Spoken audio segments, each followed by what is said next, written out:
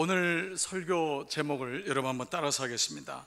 말대로 살고 말대로 죽습니다. 자, 한꺼번에 시작. 말대로 살고 말대로 죽습니다. 오늘이 그 이번 주간이 이제 그 부하루 주일의 마지막 주일입니다. 교회력으로요. 7주째가 되면서 교회력으로 부활 후 주일은 부활의 마음을 가지고 사는 사람이 삶의 영역에서 어떻게 부활의 마음을 가지고 주님의 증인되는 삶을 살 것인가가 7주 동안 진행되고 그리고 이제 이번 주가 그러니까 부활의 마지막 주일이 되고요. 6월 다음 주 오늘 6월 2일이 아니라 6월 9일부터가 교회력으로 어떻게 되죠? 예, 성령 강림 절기가 시작되는 것입니다. 그래서 이제는 그 마가의 다락방에서 다시 성령을 받아야지만 그 주님의 부활을 본 것으로 되는 것이 아니라 이제는 성령을 받는 그 성령 강림절기를 통해서 교회는 이제 대강절까지 쭉 가는 거예요. 이 교회 절기가 우리의 믿음 생활에 어, 굉장히 큰 도움을 주지요. 그래서 이제 부활 후 주일의 이제 마지막 주간을 돌아보면서 오늘 우리가 좀 말씀 묵상하기를 원하는 것은 이 삶의 영역인데 우리가 그동안 이 마음이라든지 생각 그리고 지난주에는 감동이라고 하는 여러 영역들을 우리가 이제 같이 말씀을 나눴는데 오늘은 이 언어에 대한 부분, 이 말에 대한 부분을 우리의 삶의 영역에서 돌아보고 이것이 얼마나 강력한 영적인 진원지고 이것이 영적인 영역인지를 깨달으면서 이 부분을 붙잡고 우리가 헤아려서 기도하는 그래서 새롭게 우리가 좀 능력을 경험하는 어, 시간 되기를 축복합니다. 제가 지난 일부 예배 때 어, 말씀을 드렸다가 2, 3부 때는 말씀을 안 드린 어, 한 대목이 있었는데요. 두 주 전에 우리 지방에서 이번에 신임 감리사가 되신 목사님 교회에서 지방 목회자 교역자 모임이 있었습니다. 그 모임에 갔을 때 그 신임 감리사 되신 목사님이 그 자기의 지난 목회를 돌아보면서 사실은 이제 젊은 목회자들을 향해서 얘기했던 거예요. 나는 이렇게 살았지만 당신들은 이렇게 목회하거나 살지 마십시오. 라고 하는 메시지를 전했는데 이분이 교회가 어려우면서 또 삶이 공고해지면서 늘 불평하고 불만을 터트리는 그런 모습을 가졌대요. 그래서 그날 그 설교 제목을 뭐라고 했냐면 불평에도 응답하시는 하나님. 우리가 불평을 해도 하나님이 응답을 안 하시는 게 아니라는 거예요. 하나님이 응답을 하세요. 여러분이 저주를 하거나 불평을 하거나 원망을 해도 하나님이 응답을 하신다는 거예요. 그분의 삶을 보니까 그렇게 못마땅한 거예요. 교회도 못마땅하고 가족도 못마땅하고 성도들도 못마땅한 거예요. 그런데 놀라운 것은 그래도 그 교회가 어려울 때지만 교회 세를 내고 음, 교회가 삼각교에 있었던 거예요. 교회 세를 내고 가족들도 먹고 살고 자기도 살고 있더라는 거예요. 그렇게 원망을 하고 그렇게 못마땅하고 그렇게 불평을 해도 하나님이 먹고 살게 해주신다는 거예요. 근데 그 얘기를 어떻게 하느냐 하면 여러분 하나님이 여러분이 원망해도 응답하십니다. 그러나 중요한 것 하나 있습니다. 그 사이에 내 영은 죽어갔다는 거예요. 내 영은 죽어갔다는 거예요. 내가 원망해도 불평해도 하나님이 새도 주시고 가족도 그냥 애들도 기르게 하시니까 모르고 지나간 거예요. 그런데 그 사이에 내 영은 비참하게 죽어가고 있다는 거예요. 그래서 여러분은 저처럼 살지 마십시오. 목회하지 마십시오. 라고 하는 그 후배들을 향한 메시지였어요. 그 말씀에 동의하지 않는 사람이 어디 있겠어요? 그러고 보니까 우리도 얼마나 많은 부분에서 하나님께 헌신하고 하나님을 위해서 산다 그러고 교회에 그렇게 충성하면서 말로는 다 못된 짓을 한 거예요. 우린 다 말로는 사실 하나님을 원망하고 불평하고 그 오늘 야고보서의 말씀처럼 누군가를 향해서 끊임없이 한 입으로는 찬송을 하지만 그 똑같은 입으로는 하나님의 형상으로 지음받은 형제 자매를 저주하는 한 입에서 두 두이 셈이 터지는 그런 모습을 가지고 살았다는 거예요. 그런데도 불구하고 교회는 오는 거예요. 예, 교회가 와요. 여러분의 자녀들도 왔어요. 여러분도 왔어요. 그런데 뭐가 있죠? 내 영은 처참하게 죽어가는 거예요. 그러니까 이게 사실은 굉장한 사단의 계략인 거예요. 우리가 원망을 해도 하나님이 응답하니까 그냥 그것이 일상인 줄 알고 살아가는데 사실 그러면서 내 영이 죽고 내 옆에 있는 사람의 영이 죽고 교회가 어느 날 갑자기 죽어가는 게 아니에요. 소리 없이 죽어갑니다. 이게 무서운 거예요. 그래서 여러분 우리가 개구리를 죄송하지만 뜨거운 물에 넣으면 개구리는 튀어나갑니다. 어떡하지요? 개구리를 넣고 가열을 살살 하는 거예요. 매체근하게 합니다. 이 개구리가 나갈 생각을 안 하는 거예요. 그런데 온도가 높아지도 나가지 않고 그냥 그 자리에서 쌈겨서 죽는 것 같이 사단은 급박한 환란을 통해서 교회를 무너뜨리는 것이 아니라 서서히 공략합니다. 마치 모래성처럼 서서히 공략해요. 여러분 옛날에 모래성에다가 이렇게 주머니에서 이렇게 손을 집어넣어서 두꺼비 두꺼비 하면서 놀았던 이 놀이를 아시는 분은 두꺼비 두꺼비 청년들 모르지요? 이 유명한 놀이를 망각이라는 놀이 알아요? 잘 모르는군요. 예. 그런 놀이가 있어요. 모래에다가 손 집어넣고 이거를 야금야금 해가지고 예, 무너지지 않게 하는 여러분 있었잖아요. 그렇죠? 예, 그게 유, 일한 노래였잖아요. 놀이였잖아요. 그런데 어느 날 누군가 할 때 그게 무너지잖아요. 그 옆에 있는 앞에 있는 걸 이렇게 야금야금씩 하다가 무너지는 게 갑자기 무너지는 게 아니라 자, 오늘은 우리가 그런 면에서 한번 우리 한번 이 언어적인 부분을 우리 모두 온전한 사람이 어디 있어요? 사실 저도 마찬가지고 여러분도 그렇고 그렇지만 말씀을 중심으로 해서 다시 이 영역을 살펴보는 거예요. 잠언서 6장 2절 보면은 놀라운 말씀이 있어요. 같이 한번 읽겠습니다. 시작. 내 말로 인하여 잡히게 되었느니라. 다시 한번 시작. 내 입의 말로 내가 얽혔으며 내 입의 말로 인하여 잡히게 되었느니라. 여러분 이 말씀 하나를 묵상할 때도 여러분 목사님 나 내가 이런 때가 있었습니다. 내가 내 말로 내가 얽혔어요. 내가 내 혈의 혀의 말로 인해 잡힌 거예요.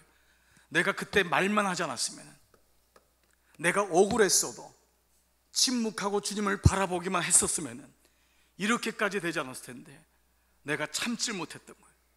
만나는 사람마다 내 편을 만들고 싶어서 내 억울함을 얘기하고 싶어서 그러다 보니까 그것이 오히려 화근이 돼서 온 세상에 다 퍼지게 되는 이런 일들이 얼마나 사실 많이 했어요. 근데 결국 그게 돌아 돌아서 누구를 치냐? 내 자식을 치고 나를 쳐요. 내 자식이 그 얘기를 듣고 교회를 떠나는 거예요. 내 자식이 그 얘기를 듣고 믿음을 떠나는 거예요. 나는 어쩔 수 없이 다니죠. 그래서 이 말이라는 것이 얼마나 우리를 잡고 하고 우리를 매이게 하는지 깜짝깜짝 놀라는 거예요. 그래서 이 믿음과 말은 너무 중요한 연관성을 가지고 있습니다. 믿음이라는 것이 하나로 탁 세워지는 게 아니라 믿음을 만드는 영역들이 있는 거예요.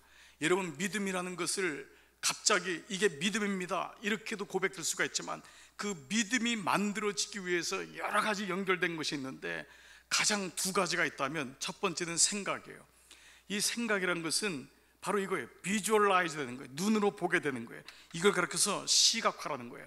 생각이라는 것은 우리가 이 말씀을 여러분 나눈 적이 있는데 바라는 것의 실상이에요. 히브리서 11장. 바라는 것의 실상이에요.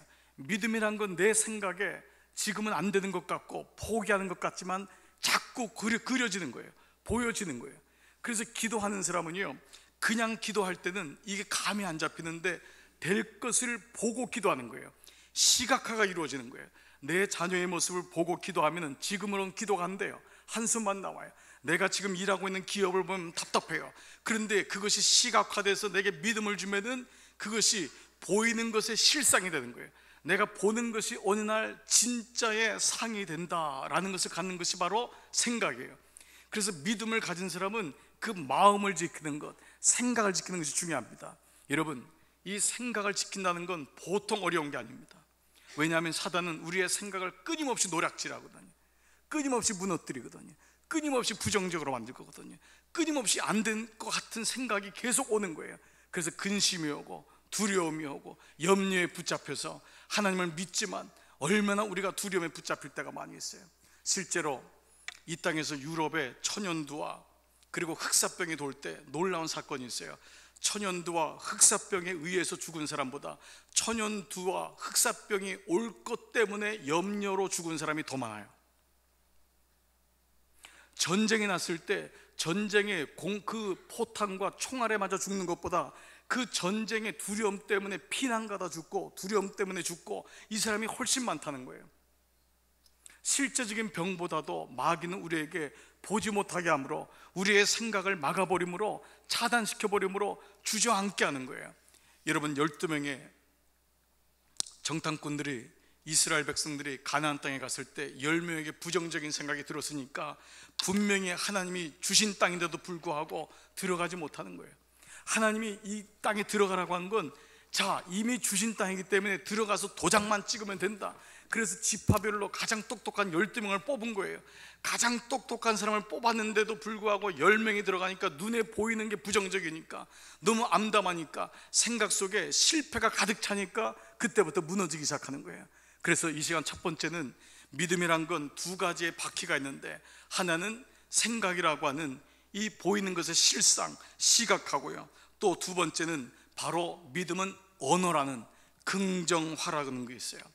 긍정화. 이 언어, 생각과 언어의 이 두 가지의 바퀴가 믿음을 달려가게 하는 거예요. 그 믿음이란 전차가 있으면 두 바퀴가 있다면 하나는 생각이요, 하나는 언어인 거예요. 그래서 생각과 언어는 쌍두마차인 거예요. 같이 간다는 것입니다. 생각과 언어는 믿음을 농사하는 데 있어서 가장 절대적인 요소입니다. 그래서 생각이 믿음의 밭이라면 언어는 그 밭에 심는 믿음의 씨앗이다. 이런 말이 있어요. 자, 다시요.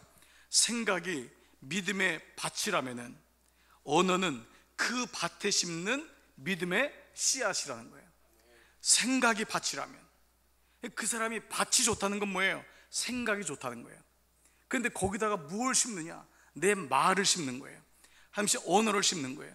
그래서 그 무엇을 심냐에 따라서 나오는 거잖아요. 밭에다가 콩을 심으면 뭐가 나와요? 콩이 나와요. 팥을 심으면 팥이 나오는 거예요. 그러니까 내가 무엇을 심냐에 따라 다른 건데 그것이 나의 하나님이 주신 언어, 말이라는 것입니다. 그래서 오늘은 이 믿음의 말, 이 믿음의 언어를 우리가 개발하려면 그래서 이 믿음의 언어를 가지고 승리하려면 어떻게 해야 될까? 세 가지의 말씀으로 묵상을 나누고 이걸 붙잡고 기도하기를 원합니다. 자, 첫 번째는요, 이거예요. 다 같이 시작. 자신이 평소에 하는 말의 중요성을 깨달아야 됩니다. 이거는 먼저 나를 봐야 돼요. 나 자신을. 내가 지금 평소에 쓰는 말이 어떤지를 봐야 돼요. 내가 평상시에 말의 중요성을 깨닫고 있는가? 나는 주로 어떤 언어를 쓰고 있는가? 라는 것입니다. 세 가족이 똑같이 속해 들어갔습니다. 두 명의 세 가족이. 한 세 가족은 일주일 만에 교회의 부정적인 소식을 다 알게 된 거예요. 한 세 가족은 너무 놀랍게 믿음의 기대와 복창 가슴을 가지고 예배를 드리는 거예요. 똑같은 사람이 똑같은 속해 들어갔는데 한 속해는 목사님 우리 교회 문제를 일주일 만에 다 알았습니다. 도대체 그 속회원들이 뭐라고 했길래? 그런데 한 속해 갔는데 이 사람은 너무 성령 충만한 거예요. 그 속장님이 너무 긍정화가 되어 있는 거예요. 그러니까 그 속원이 거기 갔을 때 다시 예배에 대한 기대감과 소원이 있는 거예요. 그러니까 우리가 쓰는 말의 중요성을 한번 좀 봐야 돼요. 잠언서 13장 2절 3절. 여러분들이 평상시 보지 못했던 말씀이 잠언서에 얼마나 많은지 몰라요. 다 같이 시작. 사람은 입의 열매로 인하여 복록을 누리거니와 마음이 괴사한 자는 강포를 자 당하느니라. 여기까지만요. 사람은 뭐로 복록을 뭐로 복을 받느냐? 입의 열매로. 행위가 아니에요. 입의 열매로 복을 받는데요. 근데 마음이 괴사한 자 뭐냐면 입이 간사한 자. 이 사람은 강포를 당한단 말이에요. 자기가 강도를 당한대요. 그 다음에요. 다 같이 입을, 입을 지키는 자는 자기의 생명을 보존하나 입술을 크게 벌리는 자에게는 멸망이 오느니라. 입을 지키는 자는 뭐냐면 해야 될 말과 안 해야 될 말을 지키는 자는 생명을 보존해요. 그렇지만 입술을 크게 벌리는 자, 그냥 여기저기서 여러분 BMW라는 말 있잖아요. big mouth woman이라는 말이 있어요.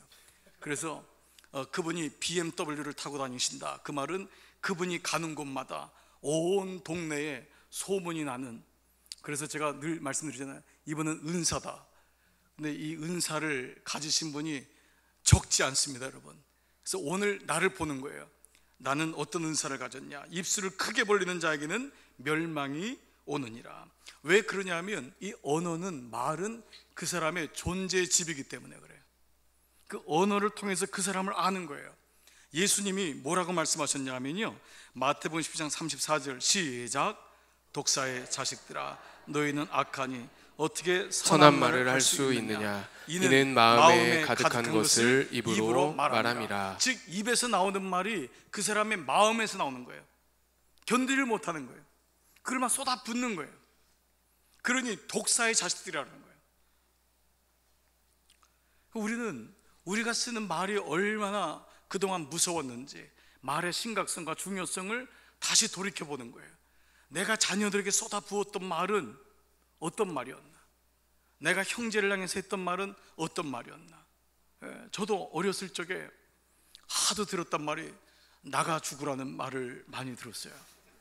저는 그때 이미 성령 충만했기 때문에 어머니의 말이 저의 영혼을 어, 아픔을 줄 수가 없었어요. 그래서 저는 나가서 안 죽으려고 대문에 매달려서 끝까지 안 나갔어요. 그런데 그때 나가서 죽은 사람이 꽤 있었어요. 집 가출하고 저는 가출할 수가 없었어요. 어, 집에서 버텨야 되겠다. 절대 나가서 죽을 수 없었어요. 근데 그 당시 유행했던 어머니들의 말이 나가서 죽어라. 왜 집에서 죽으면 안 되고 나가서 죽어야 될까? 그 숱한 언어를 그 말에 폭탄을 맞고 여기까지 오신 분이 여러분들이에요, 사실. 그런데도 이렇게 잘 살고 있으니 여러분의 믿음은 정말 엄청난 거예요. 아멘. 네. 정말 안 그래요, 여러분? 여러분 부모님 중에 물론 정말 고상하시고 정말 지적이시고 어, 여러분들에게 얘야 들어와서 죽으렴 뭐 그리고 여러분들이 잘못한 일을 해도 너는 어떻게 그렇게 잘못을 하니 어, 이렇게 하렴 참 그렇게 그런 부모님 밑에서 자란 분이 어, 계시겠지만 일반적으로는 그렇지 않았습니다. 정말 남자들 여기 있는 아빠들은 정말 거의 우리 청년 세대나 30대 이후의 세대들, 40대 아마 50대 이후의 세대들은 어, 날 때부터 맞고 자란 세대가 이 지금 여기 있는 아버지들, 예, 날 때부터 맞고 학교 가서 맞고 군대 가서 맞고 회사 가서 또 맞고 결혼해서 아내한테 또 맞고 그러니까 지금 계속해서 맞고 자란 세대가 사실은 이 세대인데도 여러분 이렇게 건재한 걸 보면은 맷집이 보통이 아닌 겁니다. 하나님의 은혜가 있어서 우리가 독을 먹어도 해함이 없어서 여기까지 왔지만 이제 우리는 공동체를 지켜야 되니까 주님의 몸된 교회를 지켜야 되니까 우리 가정을 지켜야 되니까 정말 이제는 여기 대해서 영적인 경각성을 가지고 우리가 그렇게 살아왔지만 이제 우리는 믿음을 가지고 주님의 은혜로 우리의 말 속에 열매를 맺고 이 말이 얼마나 영적인 영역이라는 것을 깨닫고 여러분 말로 승리하는 우리 되기를 주의 이름으로 축복합니다. 하버드의 의과대 교수인데요. 매튜 버드 박사란 분인데 이 사람 굉장히 유명한 사람이에요. 이 사람이 임상을 통해서 수많은 사람의 암 환자들, 수많은 사람의 그 이 마지막 그 종말에 이르는 그 아주 위태로운 병을 가진 불치병의 환자들을 계속해서 임상하면서 쓴 책이 뭐냐면요. You are what you say. 이 말은 뭐냐면 내가 말하는 것이 너다 이 말이에요. 내가 말하는 게 너다. You are what you say. 너가 말하는 게 너다. 이 사람이 모든 환자들에게 이렇게 물은 거예요. 왜 아프냐? 왜 아프냐? Why are you sick? 이게 첫 번째 책의 질문이에요.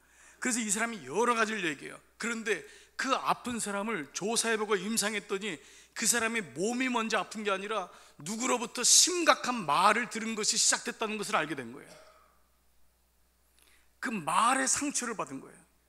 끊임없이 말로 공격을 받고 그것이 몸의 증상이 일어나 가지고 계속해서 몸에 독소가 일어나고 결국 암으로 가고 어, 치유하지 못하는 불치병으로 가는 것을 알면서 유아 완유세 너가 말하는 게 너라는 것을 알게 된 거예요. 그래서 사람들을 병원에서 치료하면서요 이런 사람들이 있는 거예요. 나는 절대 날 수가 없어. 나는 죽을라 그래. 나는 어차피 죽을 목숨이야. 건들지 마세요. 나는 치료받아도 죽을 거야. 이 대부분 이런 말을 하는 사람은 실제로 아무리 좋은 의사를 만나도 죽음을 계속해서 앞지른 죽음을 경험하는 걸 산 거예요. 그래서 결국은 이런 질문 속에서 이 건강하지 않았던 감정들, 앵거, 디프레션, 그리고 두려움, 그리고 자기 스스로가 완벽주의에 걸려 있는 이런 모습들을 보면서 그 사람들이 쏟는 말들을 대부분 보니까 대부분 부정적인 언어를 쓰고 있다는 거예요. 파괴적인 언어를 쓰고 있다는 거예요. 그 누군가에게 원망을 쏟아붓는 언어를 쓰고 있다는 거예요. 그래서 그때 이 사람이 쓴 책이 바로 당신이 말하는 것이 당신입니다. 라고 얘기했던 것입니다. 마태복음 12장 36절 보면은 예수님이 이런 말씀했어요. 내가 너희에게 이르노니 사람이 무슨 무익한 말을 하든지 심판 날에 이에 대하여 신문을 받으리니 내 말로 의롭담을 받고 내 말로 정죄함을 얻느니라. 내 말로 의롭담을 얻고 여러분 우리가 행위로 의롭담을 받는 게 맞잖아요. 그런데 먼저 예수님 뭐라냐면 너 말로 의롭담을 받고 너 말로 정죄함을 받느니라. 즉 예수님은 행위와 말이 별 차이가 없다는 거예요. 너희의 속마음을 어떻게 알 수 있느냐? 그 사람의 말을 따라서 알 수 있다는 거예요. 그래서 먼저 우리는 내가 어떤 언어를 쓰고 있는지 그 말의 심각성을 먼저 깨닫는 거예요. 여러분 스스로가 오늘 첫 번째 나는 어떤 말을 쓰고 있는가 여기 대해서 한번 생각해 보는 거예요. 여러분 이것이 첫 번째 관문이에요. 두 번째는 이거예요. 다 같이 시작. 말은 능력과 에너지 그 자체이다. 말의 능력이 있어요. 말이 에너지예요. 언어가 에너지예요. 이 실험은 너무너무 많이 했어요. 요즘 와서. 그런데 2000년이 지난 예수님이 이미 말씀하시고 이미 구약에서 말씀하셨으니까 이미 초창기에 이미 인류의 시작 때 다 얘기하셨는데 인간들이 지금 와서 야 말이 굉장히 중요하대. 말이 에너지가 있대. 이런 걸 실험으로 요즘 하면서 사람들이 깨닫고 있으니 우리가 하나님 말씀이 얼마나 지혜가 있는 말씀이에요. 요한복음 1장 1절에 태초에 뭐가 있어요? 말씀이 있다. 태초에 말이 있었다는 거예요 태초에 말이 있었다. 이 말이 하나님과 함께 하셨으니 이 말이 뭐예요? 곧 하나님이라는 거예요. 태초에 말이 있었대요. 말씀이 처음부터 있었다는 거예요. 자, 오늘 여러분에게 최근에 뭐 최근 아니지만 근간에 MBC라고 하는 이 방송국에서요. 그 아나운서들이 이 우리가 다 이미 알고 있는 거예요. 똑같은 이 밥을 가지고 거기다가 어떤 말을 썼는지에 대해서 결과가 어떤지 우리가 뻔히 알지만은 여러분이 한번 우리가 한번 오늘날에 적용한다는 의미로 이 말씀이 그저 옛날의 말씀을 제가 얘기하는 게 아니라 지금 와가지고 가장 똑똑한 사람들이 이거를 실험하고자 했던 유튜브에 나온 영상이 있어요. 짧은데 잠깐만 한번 보고 같이 나가도록 하겠습니다. 여러분은 오늘 어떤 말을 가장 많이 하셨나요? 매일같이 쉴 새 없이 말을 하는데 뭘 그런 것까지 신경 쓰느냐고요? 글쎄요, 과연 그럴까요? 무심코 내뱉은 말 한마디 속에 엄청난 비밀이 숨어 있습니다. 실험 다큐 말의 힘. 자, 이제부터 시작합니다.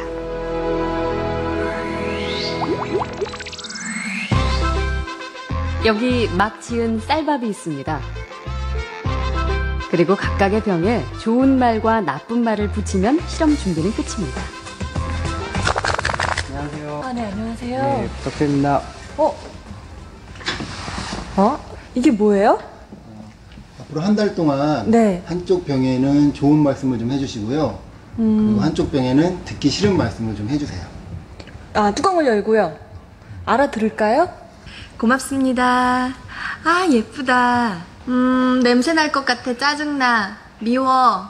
카메라 앞이라든지 짜증나도 너무 짜증 안 나게 얘기하시네요. 제대로 한번 짜증 나게 네, 할까요? 짜증. 어우, 짜증나. 아우, 힘들어요. 이런 말 못하는데. 아. 고맙습니다. 짜증나. 감사합니다. 짜증나. 아, 예쁘다. 아유, 짜증나. MBC 아나운서실과 일반 사무실 모두 다섯 곳에 전달했는데요. 4주 후 과연 어떤 변화가 생길지 함께 기다려 볼까요?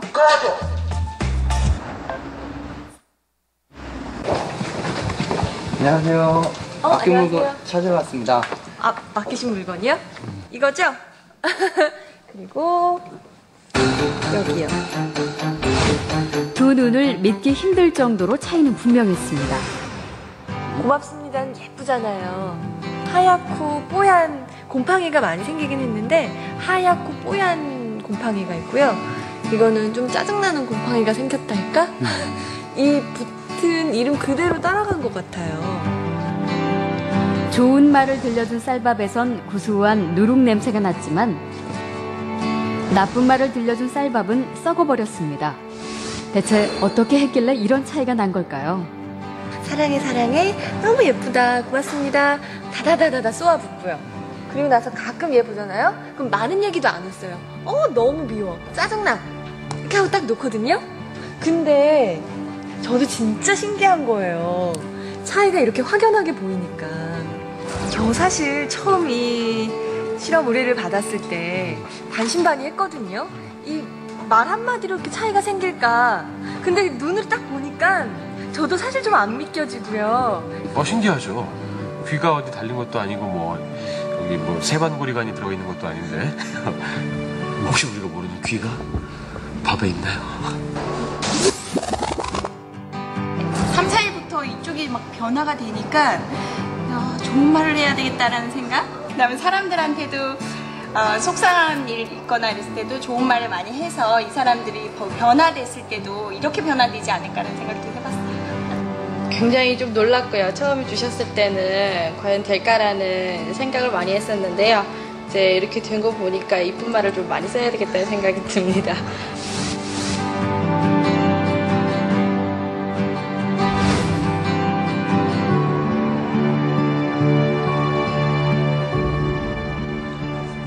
밥풀이 한 달 동안 겪은 일을 기록한 사진인데요.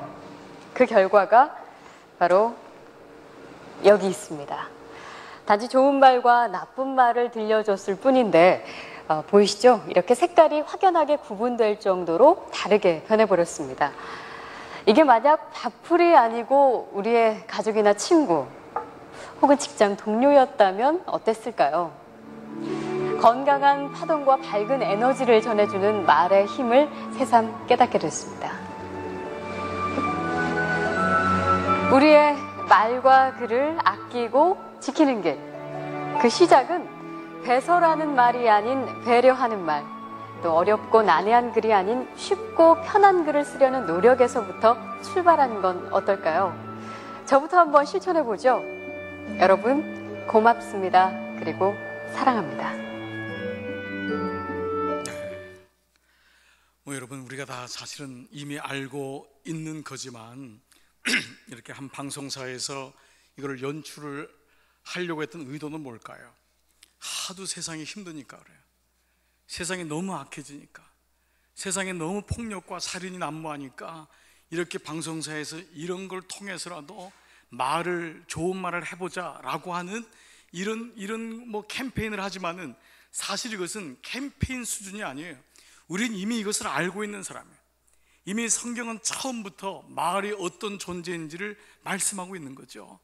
감사합니다. 똑같은 말을 했고 한쪽은 짜증을 내고 미워하고 싫어하고 했는데 그 아무 생명도 없는 밥이 여러분이 이미 이거 알고 있죠. 물은 답을 안다. 라고 하는 일본의 그 의학자가 물에 대해서 쓴 거 아니에요.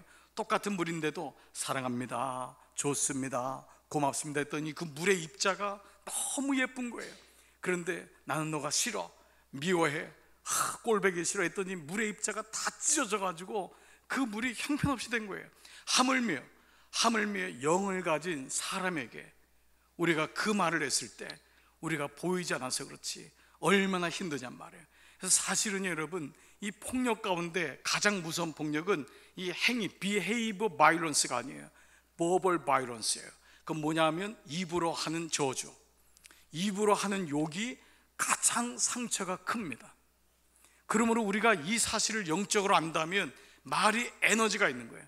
그 사람을 죽이는 것은 따로 목적을 놔서 따로 흉기를 사용할 이유도 없어요. 이걸 아는 사람은 말로 죽이면 죽어요. 예, 말로 죽으면. 여러분 잘 이게 입증이 안 된 사람은 오늘 밥에다 한 것처럼 여러분 아들 둘이 있으면 아들 하나한테는 thank you 고맙습니다 사랑합니다 정 안 되면 한번 해보세요 이게 말 같지도 않은 말을 제가 하는 것 같죠 그런데 우리가 그렇게 말을 쓰고 있다니까요 우리가 그렇게 말로 아이들을 때리고 있다니까요 꽃으로도 때리지 말라고 하는데 말로 수없이 배우자를 때리고 말로 수없이 자녀들을 때리고 말로 수없이 성도들을 때리고 목사도 성도들을 성도들도 목사를 때리고 이게 지금 교회 안의 모습인 거예요. 그래서 말에 에너지가 있다는 것에 대해서 심각성을 깨닫는 사람이 영적인 사람인 거예요. 아무리 기도를 오래 하면 뭐해요? 말을 그렇게 하는데 아무리 금식을 한들 뭐해요?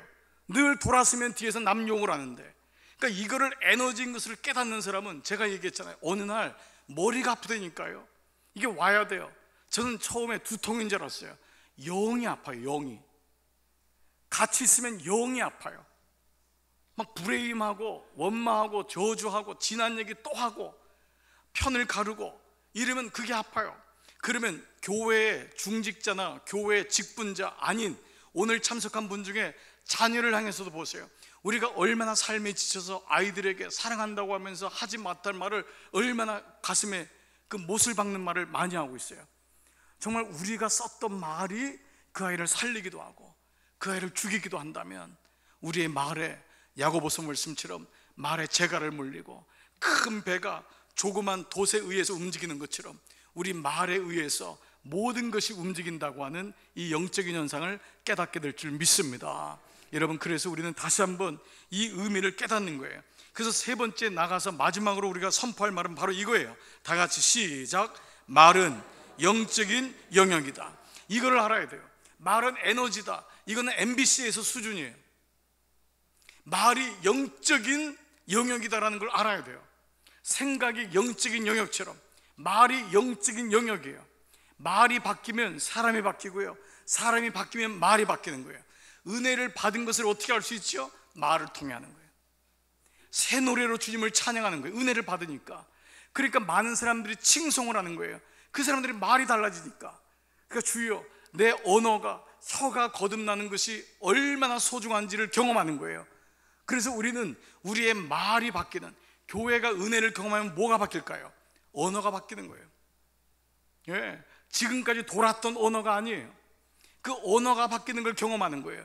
그 중에 당신이 바뀌어야지가 아니라 내가 바뀌어야지. 내가 바뀌어야지.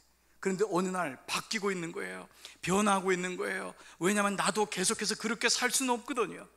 이런 영적인 암흑과 죽음에서 살 수가 없거든요. 이제는 원망과 누군가를 향한 지탄에서부터 나와서 새 언어를 창조하는데 그것이 공동체를 살리니까 결국 그 안에 병들었던 물고기가 살아나는 역사가 있는 줄 믿습니다. 이게 언어예요. 오늘 청년들이 너무 좋은 찬양을 했잖아요. 청년 시절부터 여러분은 어떤 언어를 가지고 있어요? 그 언어가 여러분의 30대, 40대, 50대를 좌우한다는 걸 아세요? 그 언어를 보면은 그 사람을 아는 거예요.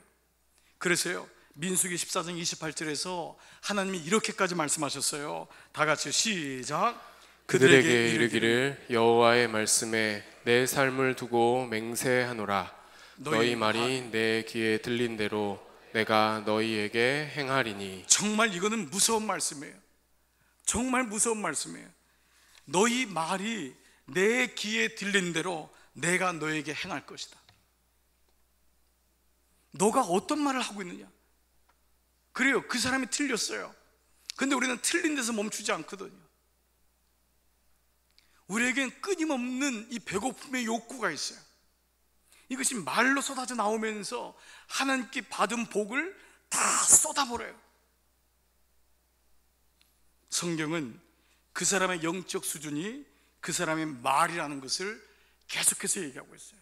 그래서 그 사람하고 말을 하면은 그 사람의 영적 수준이 어떤지를 아는 거예요. 야고보서 3장 10절부터 11절의 말씀을 들어보세요. 공동 번역.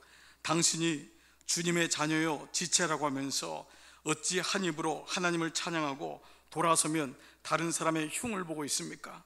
어떻게 한 혀에서 단물과 쓴물이 나올 수 있습니까? 당신이 어떻게 하나님의 자녀라고 하면서 어떻게 당신이 한 입으로는 하나님을 찬양하고 돌아서면 누군가를 충을 보고 있습니까? 어떻게 당신의 혀에서는 단물과 쓴물이 동시에 나옵니까? 그런데 오늘날의 교회들을 가만 보십시오. 교회들이 무너지고 영적인 능력을 상실하는 교회들은 다 이 말에 걸려 있습니다. 말들의 전쟁이 이루어지고 있는 거예요. 그 안에서 온갖 말들이 다 난무하고 그 안에서 영적인 능력을 잃어버리고 삼손처럼 눈이 잃어버리고 머리가 잘린 채 아무 영적 의미가 없는 능력이 없는 사람들이 모여서 그냥 모임을 갖고 있는 거예요. 말은 속해지요. 말은 성교회지요. 말은 예배지요. 그러나 그 안에는 잔혹한 말들, 누군가를 끊임없이 비방하는 말들, 못마땅한 말들이 늘 내 안에서 있기 때문에 나하고 맞는 사람만 만나면 그 얘기를 쏟아 붓게 되고 돌아서면 후회하게 되고 또 소심한 복수를 끊임없이 하는 거예요. 그 인간이 나에게 그랬다며 그러면서 또 소심한 복수가 우리 안에서 영적으로 나를 계속해서 들볶는 거예요. 이거를 계속하니까 마음에 보탬이 생기니까 은혜를 받지만 말로는 그렇게 하는 내가 또 미운 거예요. 제가 목회하면서 깨달은 것 중에 하나가 있는데 그게요. 교회 안에서의 옳고 그름은 결코 가려지지 않는다. 라는 거였어요.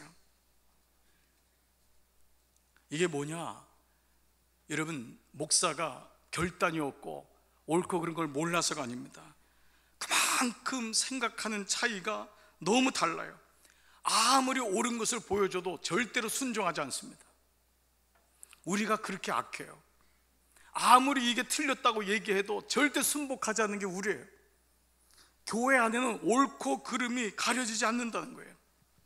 오늘날 우리가 정치를 보면서 여러분이 제일 마음 아파하는 게 뭐예요?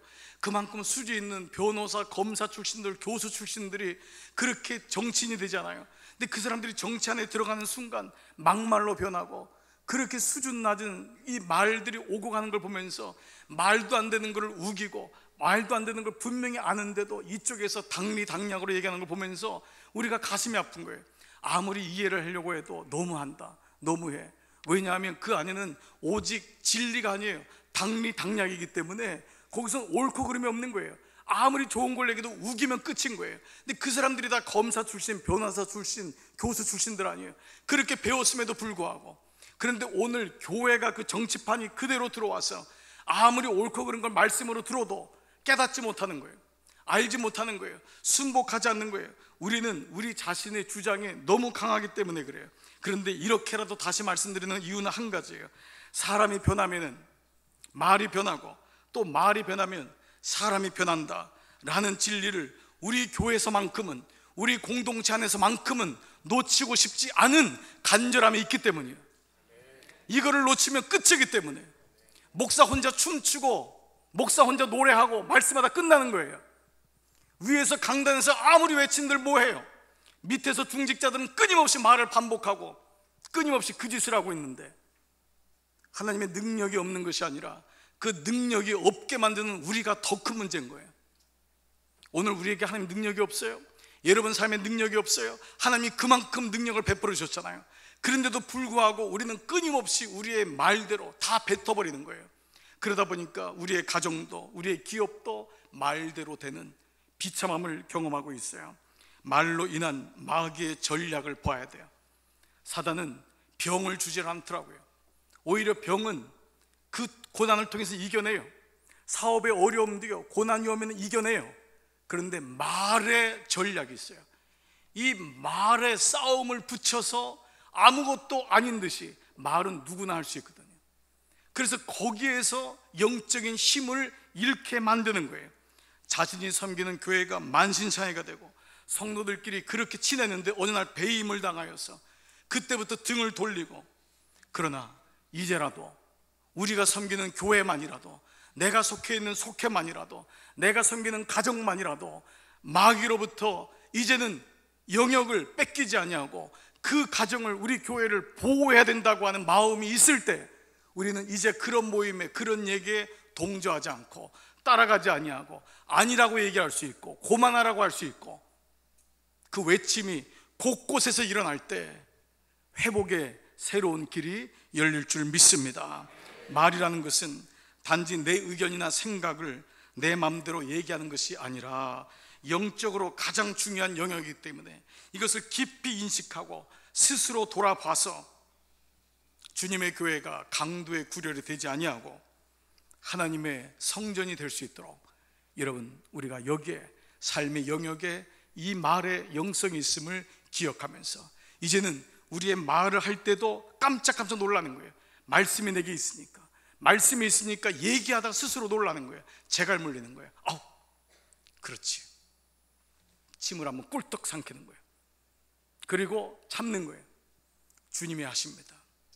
주님이 하십니다. 그 마음을 갖는 거예요. 그리고 기도하는 거예요. 그리고 하나님을 바라보는 거예요.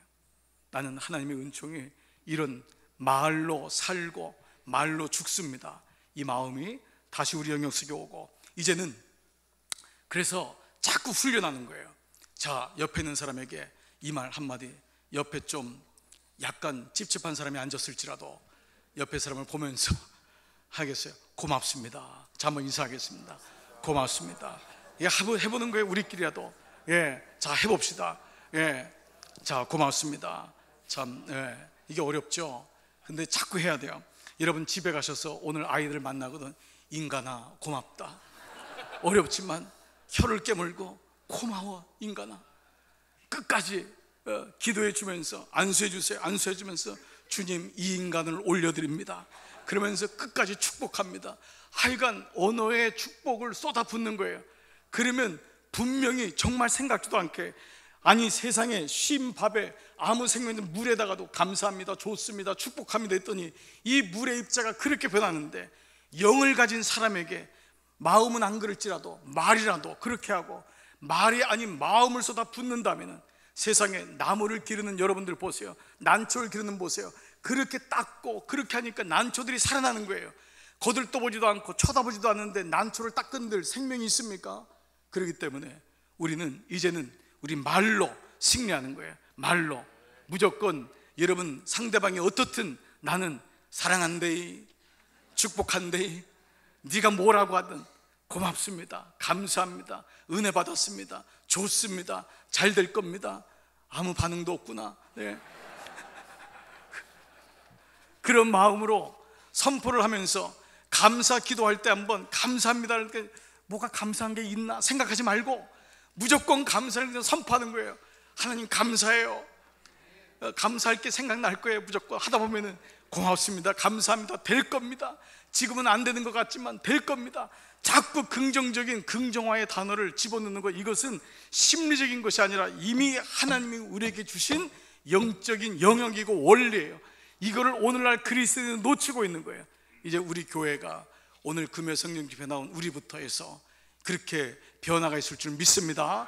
이번 주일날 어, 우리 교우들의 그래도 이 정도 여러분 나오셨으니까 여러분들이 미친 척하고 만난 사람마다 고맙습니다. 감사합니다. 그렇게 내 기도의 제목이 돼서 감사합니다. 그 계속해서 그냥 하는 거예요. 그 사람이 인사를 받든 안 받든 그건 그 사람의 몫이니까 그렇게 하면서 회복되고 하나님의 은혜로 어, 우리 모두 나가십시다. 아멘. 예, 그렇게 합시다. 다 한번 자리에서 한번 일어나겠습니다. 우리 이 찬양을 한번 고백할게요. 요즘 우리 찬양하는 찬양인데 전 이 찬양 너무 좋아요. 나는 하나님을 예배하는 예배자입니다. 예배자입니다. 내가 서 있는 곳 어디서나 하나님을 예배합니다. 내 영혼 거룩한 은혜를 향하여 내 마음 완전한 하나님 향하여 이곳에서 바로 이 시간 하나님을 예배합니다. 우리 같이 한번 가사를 묵상하면서 찬양하며 나가십시다.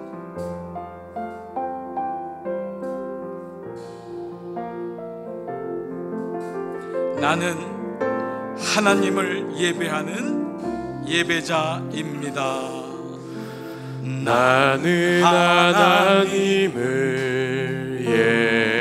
예배하는 예배자입니다. 내가 서 있는 곳, 내가 서 있는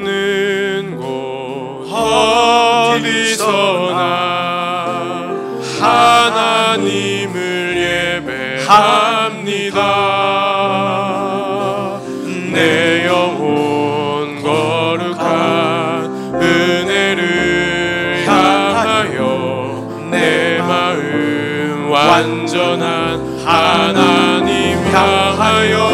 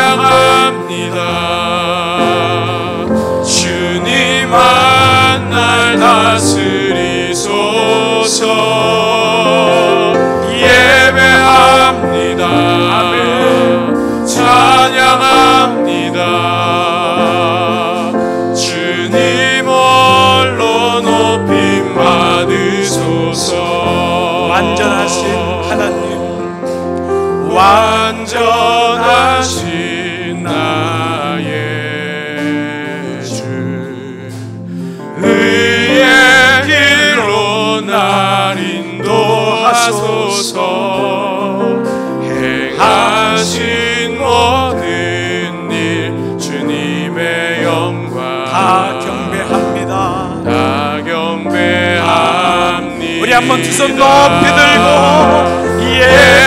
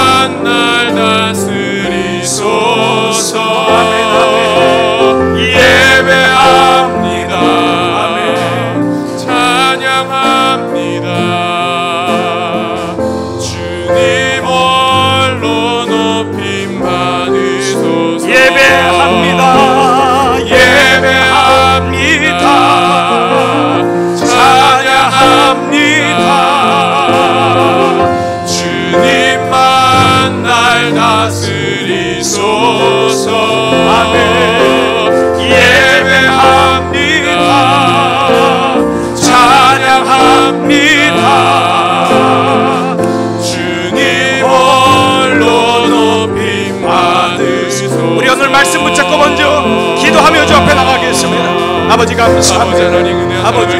내 입술에 주의 영을 주셔서 아버지 내가 주님을 예배하고 찬양합니다. 주님 나의 마음, 나의 아버지 언어에 아버지의 마음을 주시옵소서. 것이 아니라 아버지, 아버지의 마음을 주시옵소서. 아버지 하나님의 뜻을 선포하고 주님 고백하고. 아버지 주님 앞에 아버지 내어놓는 우리 귀한 입술이 되어지기를 간절히 소망합니다 주 하나님 이제 난 가운데 또 예배하는 모든 심령 가운데 주님 그 입술을 아버지 하나님 붙들어 주셔서 아버지 지난 수고를 내 입술에 냅니다 주 하나님 아버지, 내가 예배합니다. 아버지 아버지, 내가 찬양합니다. 뜻, 주님의 마음이 주여 우리 입술을 아버지, 통해. 선포되고 드러나고 아버지, 감사합니다. 나타나는 놀라운 아버지, 은혜와 역사가. 일어나게 하여 주시옵소서 아버지 우리의 마음이 하시고 아버지 우리 아버지, 나의 주님 나의 앞에 참으로 부끄럽고 참으로. 연약하고 아버지, 참으로 명령. 안타까운 내 말로 받고 주하나님이 내 말로 앞에 우리 위로 입을 드립니다. 우리의 심령을 드립니다. 주님 우리의 내 선포합니다. 아버지 나를 창조하신 주님. 나의 힘을 씌우신 주님 주님의 어, 뜻에 합당하게 하여 주시옵소서. 주님의 마음에 합하게 하여 주시옵소서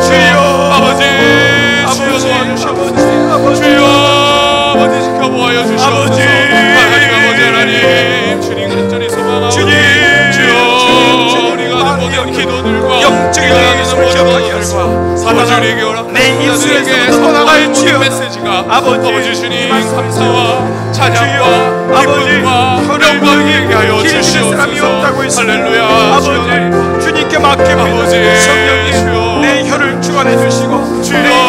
거듭나기를 원합니다 아버지, 내 혀가 받기를 주시옵소서. 원합니다 아버지 내 혀가 세례받기를 원합니다 때에 아버지 감사를 선언하게 하여. 주시옵소서. 주님 붙잡아 주시옵소서 조건에 따라 주님을 하여. 주시고 주님을 찬양합니다. 어떠한 성축합니다. 어떠한 환경 속에서도 아버지, 우리 주님 우리의 심령만큼은 아버지 주님에게서 떠나지 아니하고 온전히 주님만 바라보는. 귀한 은혜와 역사가 일어날 수 있도록 하시고 주 아버지 도와주시옵소서 은혜가 아버지 우리 모든 인기를 주님을 나오니 시간 아버지. 주님을 의지하고 주여 감사합니다 역사하여 주시옵소서 아버지 하나님 주님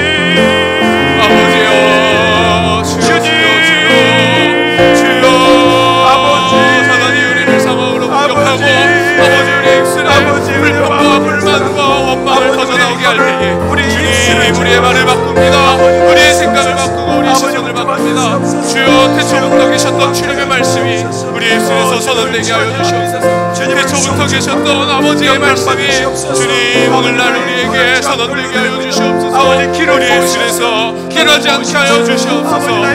주님 그 놀라운 창조의 역사가 주님. 나를 통해 내가 이 세상을 통해 주여 일어나기를 간절히 소망합니다. 주여 도와주시옵소서. 주여 도와주시옵소서. 아버지 하나님. 주님이 언어였으니 주님 주님의 손 아버지 도와주세요. 주님의 그 능력에 아버지 손길이 붙잡아 주세요. 주님 우리의 마음을 주의 만지시고 우리의 생각을 만지시고 주의 말씀을 붙잡으시고 우리 입술을 만지시고 역사가 일어나게. 하여 주시옵소서 아버지요 주여 나의 입술이 아버지요 가정을 살립니다 나의 입술이 아버지. 배우자를 살립니다 나의 입술이. 자녀를 살립니다 나의 입술이 아버지. 기업을 살립니다. 주님 주님 도와주세요 주님 도와주세요. 주님이 다스려 주시옵소서. 주님 내 입술을 하나님, 다스리시옵소서. 아버지요. 우리의 말을 다스려 주시옵소서. 주님 주님을 찬양합니다. 주님 찬양합니다. 주님 감사합니다. 주님 감사합니다. 자매들과 아버지 주의 주의 은혜로 예, 충만케 하소서. 주님의 은혜가 충만하게 감사케 하시고 우리의 삶의 모든 영역을 찬양 그리의 말과 주의 은혜가 임하여 주여, 안아주고 기름 아버지 세워주는 부음이 모든 하소서. 생활이 아버지 가운데. 굳건하게 주님. 다져지고 수 주님, 주 하나님 도와주시옵소서 주 하나님 도와주시옵소서 예배합니다 예배합니다 주님 찬양합니다 찬양합니다 주님 나를 다스려 주십시오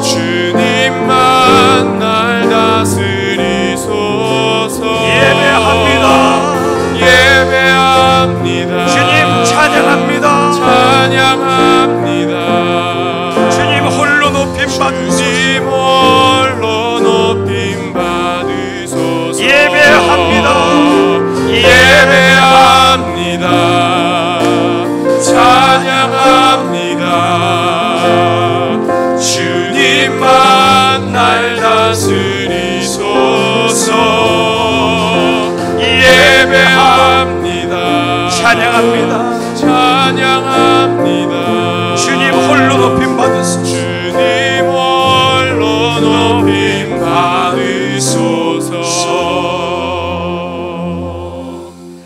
여러분 혀는 능히 길들일 사람이 없다고 했어요. 이것은 우리의 애씀으로 되지 않는다는 것입니다.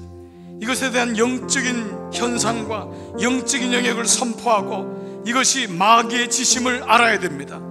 나의 마음 속에서 끊임없이 뱉는 이 말은 사실은 이제 그리스도 안에 있는 우리 모두에게는 이것이 마귀의 계략이고 마귀의 하는 짓임을 알아 이제는 마귀가 우리를 잡지 않도록 주여 내 혀에 하나님의 은혜가 임하여 내 말로 인하여 자녀들이 살고 내 말로 인하여 배우자가 살고 내 가정이 살고 주님의 교회가 살게 하여 주시옵소서. 여러분 이 시간 손 높이 들고 기도할 때에 영적인 것을 선포하고 주여 우리 교회 안에 이 민감함을 가지고 이제는 엉뚱한 얘기를 들으면 내 영이 반응하고 견디지 못하게 해주시고 하나님 은혜 가운데 나의 언어에 하나님의 기름 부음이 있게 하여 주시옵소서. 우리 함께 기도하겠습니다. 살아계신 아버지 선포합니다. 아버지 선포합니다. 아버지 나의 말 가운데 주의 기름 부음이 있기를 원합니다. 아버지 애매한 말 알지 못하는 말 아버지 죽이는 말 아버지 나누는 말 시기 하는 말 분열하는 말 이 모든 말들이 나의 언어에서 사라져 나의 입술에서 사라져 주여 내 말에 내 기름 부음 있게 하소서. 악한 영은 떠나가고 주님의 교회 안에 가운데 주님 주님의 놀라운 말씀을 주여 선포하고 말 아버지 주님을 향한 감사를 선포하고 아버지 주님이 주신 그 은혜의 감격을 선포하고 아버지 나의 삶 가운데 역사하신 주님의 그 능력을 간증을 하고 선포하는 아버지 귀한 은혜가 아버지 내가 민감하게 하소서. 주 하나님 영적으로 민감하게 하소서. 아버지 어떤 민감하게 하소서. 때에 나를 통하여서 그 말이 바뀌어지게 하시고 아버지 그 무조건적인 때, 것들이 아버지 원천적인 주님을 향한 감사의 말들로 주님을 향한. 아버지 축복의 아니다. 주님을 내 향한 섬김의. 말들로. 예수 이름으로 내 예. 쫓게 하소서. 아버지 온전히 이제는 듣지도 아버지 말고 보지도 말고 말하지도 말게 도와주시옵소서. 우리가 교회를 지키고 아버지 영적 생명을 지키며 주여 이제는 주님의 역사가 아버지의 마음 부어지기를 주시기를 원합니다. 원하고 기도합니다. 아버지 자비로우신 아버지 심령식 주의 은혜를 허락하시옵소서 주의 아버지 말을 능력의 그 허락하시옵소서 손으로 아버지 내가 주님을 찬송하고 아버지 우리 주님께 영광 돌리고 납니다 모든 것들이 우리 교회 안에 이러한 영이 있게 아버지 하시고 오해하고 실패하고 도와주시옵소서 뒷담화를 하고 이런 것들이 하나님의 마음에 차지하는으로 이제는 떠나가게 아버지, 하시고 하나님의 은총으로. 하나님을 아버지, 원합니다. 마음 주시기를 주여, 원하고. 기도합니다 아버지여, 내 예, 안에 있는 향해 주여, 주여 도와주시옵소서. 내 입술에 주님 통하시 완전함을 하시는 주님 나의 입술의 고백함과 내 마음의 묵상이 주께 연락되기를 이 원합니다 나의. 입술의 모든 말과 내 마음의 묵상이 주께 연락되기를 원합니다 주여, 우리 온전히 경각심을 사랑합니다. 영적인 센스를 가지고. 아버지 반응하게 하셔서. 아닌 것을 들을 때에 분노하게 하시고 아닌 것을 들을 때에 우리 하게 하시고 할 바뀌게 하소서. 우리 너를 향한 우리의 태도가 바뀌게 영적인 파수꾼을 향한 우리의 우리의 말에 축복이 넘치게 하시고 하나님, 하나님, 아버지. 붙잡아 주시기를 주여. 오 자비하신 성령 하나님.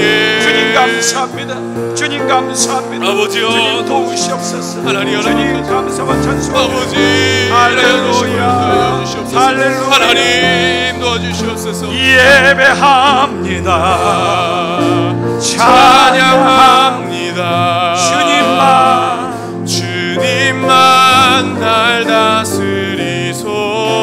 예배합니다. 예배합니다. 찬양합니다. 찬양합니다.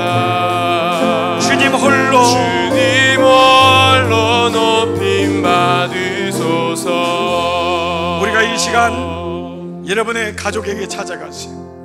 여러분의 부모님, 형제, 자매, 그리고 여러분의 자녀에게 찾아가세요. 그리고 이 시간 축복하세요. 마음껏 축복하세요. 그리고 하나님 자녀를 위해 기도할 때 저들의 언어에 하나님의 파수꾼을 주셔서 저들의 성품과 더불어서 저들의 언어에 하나님의 기름 부음이 있기를 기도하십시오. 주여, 우리 자녀들의 말을 주님 지켜 주시옵소서. 저가 쉽게 뱉지 않게 하시고 쉽게 원망과 불평의 영에 붙잡히지 않게 하시며 실패와 좌절과 아버지 여기에 붙잡히는 영이 아니라 그의 말에 창조적인 말을 하고 그의 언어에 긍정적인 말을 하고 그의 언어에 배려하는 아버지의 말을 그 혀에 붙여 주시옵소서.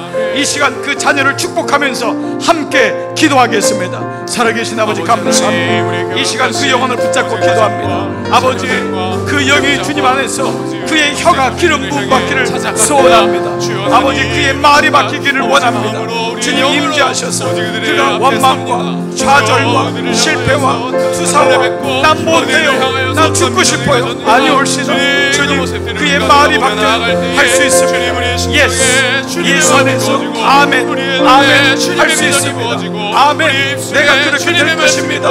아멘. 내가 그렇게 될 것입니다. 이 마음을 가지고 그들을 향한 놀라운 주의 영이 임하여 놀라운 주의 말씀이 임하여 그렇게 될 줄 믿사 아버지 증언될 수 어, 주님 있도록 감사합니다. 주 하나님 도와주시고 어, 인도하여 주님 주시옵소서. 아버지여 만족하게 하시고 능력의 손으로 주님 놀라운. 주여 내가 주 놀라운 하나님 감사의 말씀 도와주시옵소서. 주이 하나님 경험하게 하시고. 아버지 붙잡으시기를 아버지, 원합니다 어 축복의 주님 통로와 감사합니다 은혜의 통로가 어 되어서 주님 아버지 주님의 말씀을 선포 주의 영으로 전하고 나타내고 아버지 시간에 주님의 귀한 제자들이 로 세워질 수 있도록 주 하나님 말의 도와주시옵소서 파수꾼을 세우옵소서. 저들이 아멘 할 때에 나 아멘 할 때에 하나님 아는. 아멘 할 때에 주님 놀라운 내가 줄 주님 믿어 붙듭니다. 주님 그렇습니다. 주님 지성이 주님 인하여서 주님 주시옵소서. 주여 우리 다시 영역 넘어질 수밖에 없는 가운데 그 연약함이 이루어지게 하여 주시옵소서. 주님을 주님 찬양합니다. 주님을 성취합니다 뜨겁게 아멘. 되어줄 수 있도록 주 할렐루야. 하나님 도와주시옵소서. 주님 주님을 의지합니다. 주여 주님을 바라며 나아가는 우리 모든 심령 심령. 아버지 우리가 은혜와 축복의 그 말의 통로가 되어서 아버지 놀라운 은혜가 있을 수 있도록 도와주시옵소서. 할렐루야. 아버지. 우리 한번 두 손을 다시 한번 번쩍 들고 여러분 두 손을 내리지 마시고요. 이 시간 중보할 때에 여러분의 기업으로 가십시오. 여러분의 직장으로 가십시오. 여러분 자녀의 직장으로 가세요. 그곳에 긍정의 씨앗을 심으세요. 믿음의 씨앗을 심으세요. 눈에 보이는 것이 없고 손에 잡히는 것이 없을지라도 주님 내가 말씀에 의지하여 믿음의 씨를 뿌립니다. 축복의 씨를 뿌리고 감사의 씨를 뿌리고 긍정의 씨를 뿌리고 분명히 될 것입니다. 아멘, 아멘. 하나님의 영광이 이루어질 것입니다. 나는 신뢰합니다. 주님을 의지합니다. 안 된다는 생각이 내 머릿속에 가득 차고 환경이 무너지고 사람들은 다 꼬이는 것 같을지라도 이 시간 믿음으로 선포하세요. 그곳에 외롭게 서서 주님을 바라보세요. 그리고 선지자처럼 담대하게 선포하세요. 오늘 이 시간 믿음으로 기업을 위해서 선포하겠습니다. 아버지 감사합니다. 이 시간 믿음의 기업에 가서 선포합니다. 아멘. 될 것입니다. 주여 오늘 믿음으로 씨를 심습니다. 아버지 그곳은 믿음으로 씨를 심습니다. 놀라운 씨를 심습니다. 아버지 은혜를 심습니다. 우리 청년들, 청장년들 믿음의 놀라운 기업이 되게 하시고 하나님의 사람이 되게 하시고 아버지 마음이 되게 하소서 기업의 직장에 아버지 씨가 임할 때 놀랍게 일하시고 놀랍게 놀랍게 경험하게 하시고 아버지 붙잡아 주시기를 그 원합니다. 우리 아버지 도와주세요. 우리 아버지. 자들 주여 아버지 어느 할것 해주세요. 없이 기도할 때, 기도할 때, 기도할 때, 씨를 뿌릴 때에, 믿음의 주 씨를 뿌릴. 때에, 축복의 씨를 뿌릴 때에. 감사의 씨를 뿌릴. 때에, 능력의. 씨를 뿌릴 때에, 하나님의 씨를 뿌릴 이 때에, 놀라운 은혜가 그 밭에 하늘에서 하나님의 은혜의 비가 내리게 하시고 하나님의. 은혜의 비가 내리게 하시고 하늘을 막게 하시고 마음 도와주시옵소서. 은혜를 경험하게 하소서. 아버지. 감사합니다. 아버지 감사합니다. 아버지 감사합니다. 나는 아버지, 잘될 하나님, 수밖에 없습니다. 나는 승리할 수밖에 없어요. 나는 은혜로 일어날 수밖에 없어요. 은혜의 단비를 맞으세요. 은혜의 단비를 맞으세요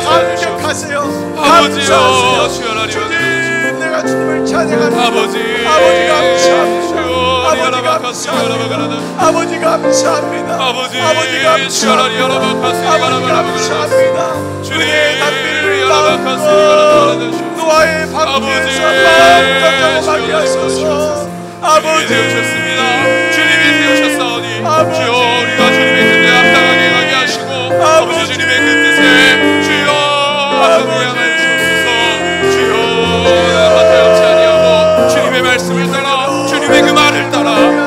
순복하고 순종하며 나아가는 귀한 기업들 아버지 주님의 귀한 기업들 세워질 수 있도록 주 하나님 도와주시옵소서.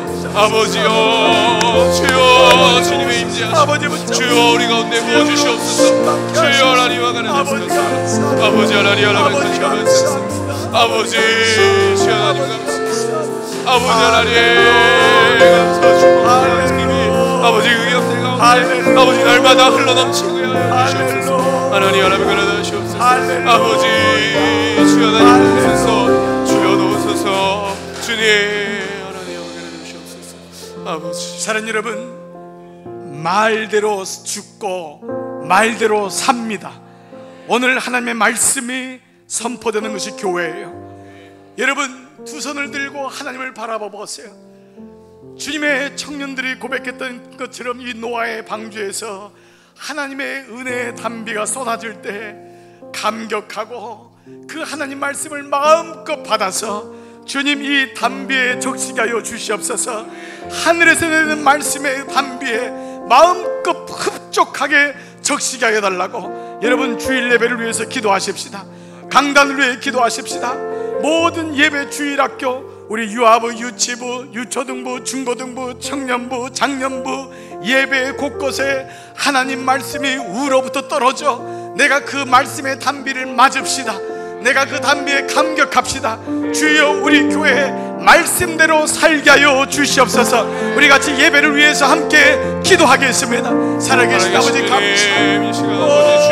아버지 향한 그 예배의 자리 주님을 향한 그 경배의 자리 아버지 주님을 향한 그 찬송의 자리를 아버지 시간으로 드립니다. 주여 허락하셨고 주님 예배하는 것 같으나 아버지 주님이 내가 은혜의 단비를 마음껏 맡겨주소서 도와주셔서 아버지 은혜의 가운데 맞은 통해 기도를 통해 은혜의 통해 맞은 선언되어지는 주님의 단비를 맞은 주님의 놀라운 삶을 사로잡고 오, 주님 주여. 우리의 생각을 사로잡고 주님. 주여 우리의 주님 사로잡고. 주여 주님 우리. 모든 삶의 구석구석 주님 속에. 놀라운 은혜로 주님 놀라운. 역사로 주님이 주님 역사하게 하여 주시옵소서 일하여 주시옵소서 급 족하게 아버지 내리소서. 영광과 내리소서. 감사를 오, 올려드리는 없는. 시간이 되게 하여 주시옵소서. 감사합니다. 아버지여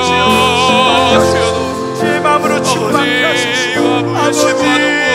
아버지 하소서 아버지 아버지 모든 교회. 구성서마다 아버지. 주 하나님 그 드려지는 예배 예배마다 아버지 주님의. 기쁨이 넘치게 하여 주시고 우리를 향한 은혜가 넘치게 하여 주시옵소서. 은혜 주여 하나님의 주시옵소서. 주시옵소서. 하나님 하나님 하나님의 그래 주시옵소서. 주여 일하여 주시옵소서. 주님 은혜와 예배가 있게 하여 주시옵소서. 주님 할렐루야. 주여 도우시옵소서. 할렐루야. 할렐루야.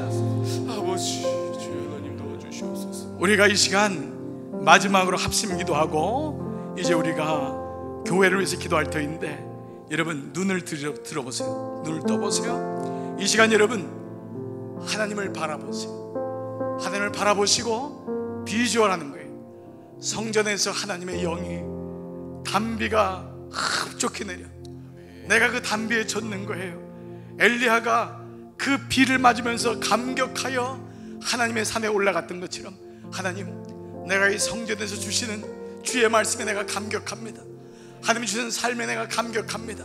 그걸 내가 보는 거예요. 아버지 믿음은 보는 것의 실상입니다. 약해 있지 말고 여러분은 볼 수 있는 자격을 가진 사람이에요. 하나님의 은혜를 보세요. 성전에서 내려오는 그의 주의 은혜를 보세요. 그 삶의 도처에 내리시는 하나님의 은총을 마음껏 맞으세요. 그리고 이 시간 감사하고 주님 감사해요. 이 은혜 주심을 감사해요. 주님을 찬양합니다. 우리 마지막으로 그 찬양을 주님을 바라보면서 함께 기도하겠습니다 하나님 감사합니다 아버지 주님의 은혜를 찬양합니다 우리를 주님 감사해요. 주님의 은혜를 찬양합니다. 버리지 아니하시고 끝까지 주님 나에게 주신 은혜를 찬양합니다. 아버지, 말씀하시고 아버지 감사해요. 아버지 기죽지 말게 기죽지 말아요. 은혜를 기죽지 말지어다 기죽지 말지어다. 일어날지어다 선포할지어다 너는 하나님의 그대와 너는 나의 아들이다. 너는 나의 딸이다. 너는 나의 택함을 얻은 관계가 하나님 우리에게 감사. 많은 심령을 하나님 온전히 감사. 적시게 하여 주시고 내가 하나님께 받은 영을 찬양합니다 마음껏 금양하여 것 마음껏 내리게 시간 주의 불구하며 주의 은혜가 내려 그 우리의 은혜를 병든 마음과. 병든 몸과. 아버지 연약한 은혜를 교회에 임하소서 충만하게 하소서. 이 길을 받게 하소서. 아버지. 이 은혜의 단비를 받게 하소서. 이 은혜의 아버지, 경험하게 하소서. 이 은혜의 단비를 경험하게 하소서. 내가 나을지어다. 회복할지어다. 일어날지어다. 아버지. 아버지. 감사합니다. 아버지 감사합니다. 주님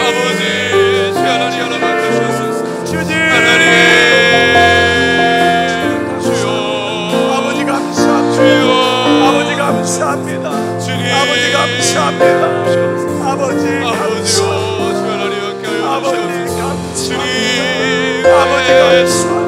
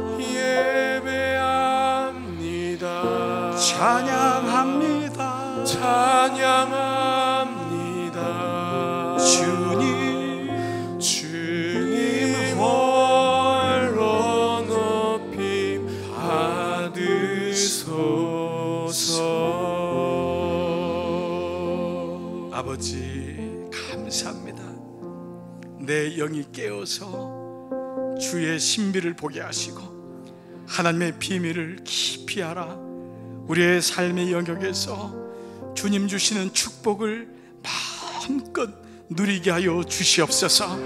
영적 파수꾼을 세우셔서 민감하게 하시고 주님 여기 기도하는 종들을 세우셨사오니 주님 피로 세우신 주님의 몸을 보호하게 하시고 주님 세우신 가정을 보호하게 하시며 주님 주신 자녀들이 보호함받게 하여 주시옵소서. 아버지 감사합니다. 오늘 이 밤에 주의 단비로 충만하게 그 은혜를 마음껏 경험하며 주님 사랑하는 종들의 삶 가운데 주님의 은총이 충만하게 임할 줄 믿고 감사하오며 예수 그리스도의 이름으로 간절히 간절히 기도드리옵나이다. 아멘